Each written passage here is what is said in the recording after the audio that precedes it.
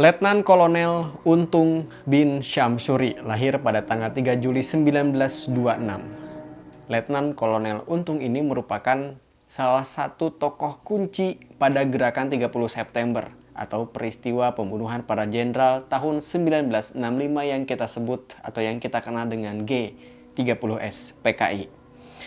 Untung adalah mantan anak buah dari Soeharto juga ketika ia menjadi komandan resimen 15 di Solo. Untung Syamsuri lahir di desa Seruni, Kedung Bajul, Kebumen, Jawa Tengah. Untung Syamsuri bin Sutopo ini kemudian pindah dari Kebumen ke desa Jayengan, Solo pada tahun 1937 atau pada saat usianya 10 tahun.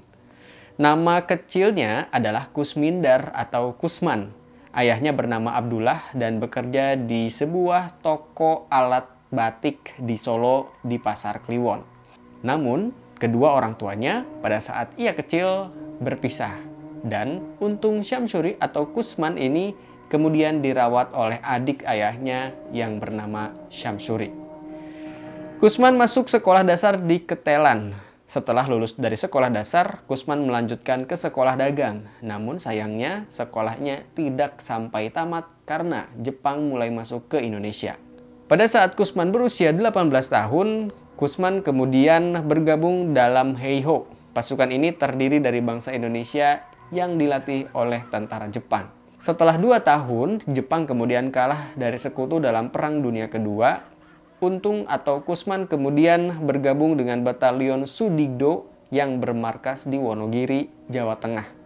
Kemudian pada tahun 1947, Batalion Sudigdo ini yang berada di wilayah Divisi Panembahan Senopati berhasil ditarik menjadi pendukung Partai Komunis Indonesia. Kala itu, Menteri Pertahanan dijabat oleh seorang tokoh PKI, yaitu Mr. Amir Syarifuddin. Walhasil, laskar-laskar yang berafiliasi dengan komunis memperoleh prioritas dan fasilitas dalam pembagian senjata, termasuk perlengkapan lainnya.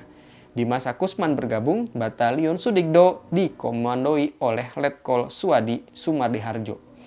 Batalion ini sangat terkenal di daerah Boyolali karena batalion ini adalah satu-satunya batalion yang ikut dengan PKI dan mempunyai persenjataan yang komplit.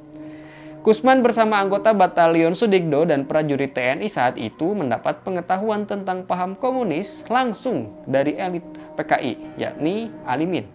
Hal ini menjadikan Panglima Besar TNI Jenderal Sudirman mulai khawatir. Jenderal Sudirman pun kemudian menginstruksikan Letnan Kolonel Soeharto untuk meyakinkan sejumlah prajurit dari Divisi Penambahan Senopati agar tidak ikut faham komunis. Ketika itu, Soeharto bahkan sempat bertemu dengan Alimin, Muso, dan sejumlah elit PKI lain di Madiun. Namun, Kusman dan sejumlah prajurit dari Divisi Penambahan Senopati gagal dibujuk. Dan pada tanggal 18 September 1948, PKI yang termasuk Kusman di dalamnya melakukan pemberontakan di Madiun, Jawa Timur di bawah pimpinan Muso. Kemudian TNI pun tidak tinggal diam TNI melakukan penumpasan pemberontakan tersebut. Kembali, Letnan Kolonel Soeharto diperintahkan untuk memburu pelaku pemberontakan PKI Madiun termasuk Kusman dan anggota Batalion Sadigdo.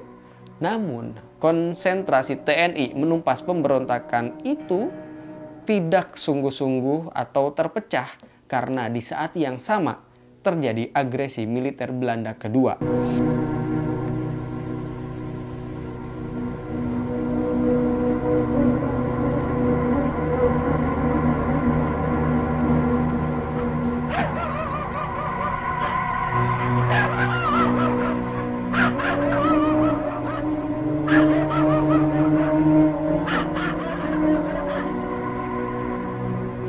Belanda melancarkan agresi militer keduanya pada bulan Desember 1948, sehingga usaha pembersihan yang dilakukan TNI dan pemerintah terhadap para pemberontakan komunis di Madiun tidak tuntas. Sebagian pemberontakan dibersihkan kesalahannya agar dapat membantu pemerintah menghadapi serangan Belanda. Kusman sempat melarikan diri saat pemerintah memburu batalion Sudigdo.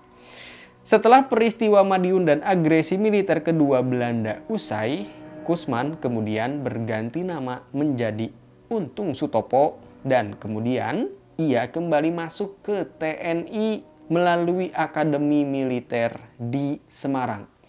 Letnan Kolonel Untung Sutopo bin Syamsuri ini, tokoh kunci gerakan 30 September 1965 adalah salah satu lulusan terbaik Akademi Militer.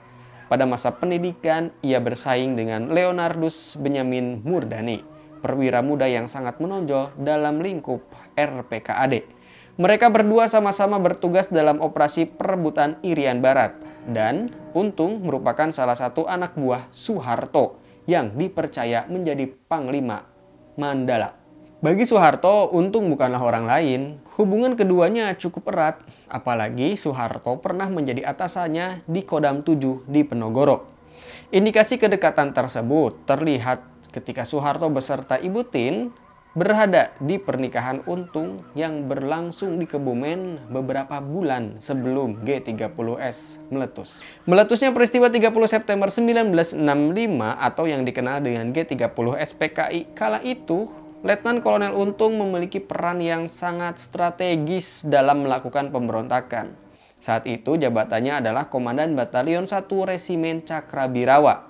Untung melakukan propaganda kepada anggotanya, yaitu Cakrabirawa atau pasukan pelindung presiden dari isu tentang Dewan Jenderal. Saat itu, isu Dewan Jenderal menjadi bola panas menjelang peristiwa G30 SPKI dengan dalih bahwa sekelompok perwira TNI Angkatan Darat hendak mengambil alih kekuasaan kala Presiden Soekarno sedang sakit. Pada malam 30 September 1965, Letkol Untung berangkat ke Lubang Buaya untuk mengkondisikan pasukannya. Letkol Untung kemudian menunjuk Letu Dul Arif untuk menjadi ketua pelaksana penculikan para petinggi TNI Angkatan Darat tersebut. Ratusan pasukan Cakrabirawa kemudian bersiap menanti perintah.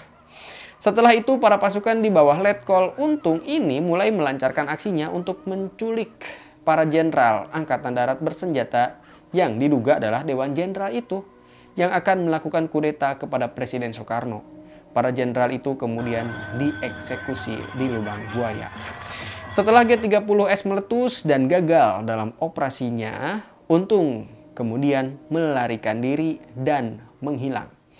Saat itu tepatnya pada 11 Oktober 1965, Untung akan melarikan diri ke Semarang dengan naik bis. Namun Ketika Untung berada di dalam bis, dirinya dikenali oleh dua tentara armed yang juga menumpang bus yang sama. Untung yang terkejut pun memilih untuk melompat keluar dari bis. Karena merasa janggal dengan tingkah Untung, maka ia pun menjadi dikejar dan akhirnya ditangkap di Asem 3 Keraton Tegal, Jawa Tengah. Ketika tertangkap, ia tidak mengaku bernama Untung Anggota Armed yang menangkapnya pun tidak menyangka bahwa tangkapannya adalah mantan Komando Operasional G30S PKI.